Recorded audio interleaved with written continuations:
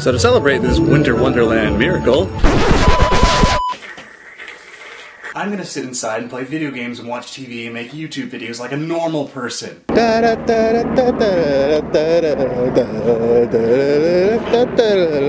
Hey guys, this is Prandall, and this is the start of my brand new channel format. Hey Prandall, what happened to that Kingdom Hearts video you kept talking about? Thanks for asking, random viewer.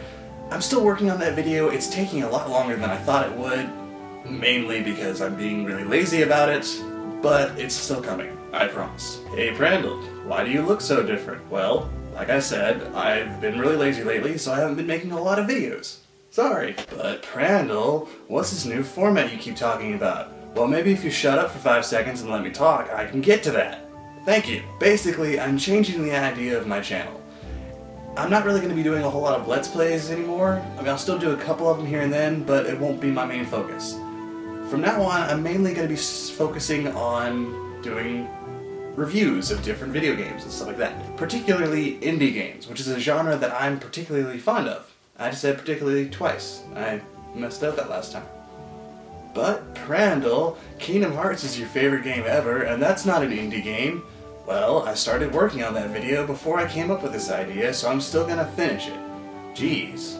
Anyway, let's get started. This is a game called Tilt-A-Home. I'm guessing it was made by some guy named Jaj? I don't know. But basically, you play as a little uh, pink blob thing. It's cute. But it reminds me of another video game character that I can't seem to remember. Hmm. Round pink body, rosy cheeks, and a scared or surprised facial expression? Huh, who could it be? Ah, well, moving on. So the object of the game is to get the Kirby's, I mean, the blobs, out of their home because for some reason they don't like living there. I wouldn't either if I lived in a house that was nothing but a maze and random couches, clocks, and lamps. You move the arrow keys to change the gravity of the house, because that's a thing that you can do. And the R key resets the level if you screw up, and you will screw up. The first few levels are relatively easy, and you can pretty much zoom right through them. I just wish it didn't have to make a loud pong noise every time you did anything. Don't get me wrong, I love 8 bit retro games. But this gets a little annoying after a while. Everything is fine until you reach this level. I spent a good 10 minutes just trying to figure this one out, because once a Kirby blob goes through a door, it closes forever. I guess it makes sense because these blurbies don't have arms of any kind to open doors. Turns out, you just gotta stack the clobs so they can all go through the doors at once, then you get to this level, which really reminds me of that old puzzle game with the cars. You know, the one where you had to get the little white car to an empty spot or something by frustratingly move the other cars out of the way in weird orders. Then I do another level, and then all of a sudden, I'm at the title screen again.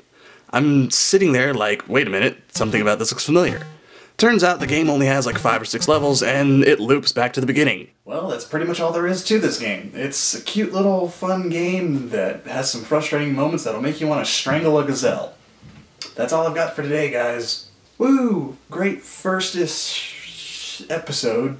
Uh, hopefully next time I'll find a game that lasts longer than a couple minutes. Alright, this is Prandall, and I'll see you guys next time. Bye!